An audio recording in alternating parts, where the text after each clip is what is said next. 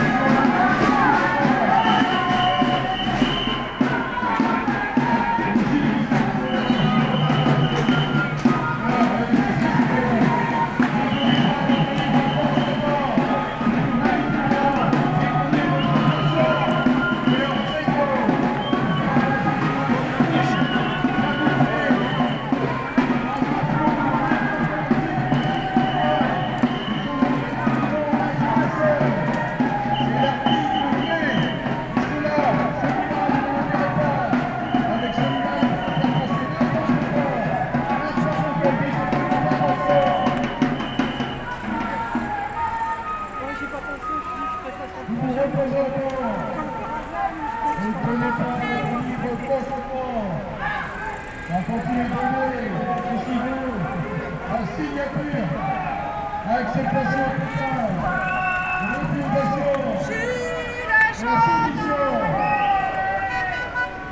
la l'indifférence.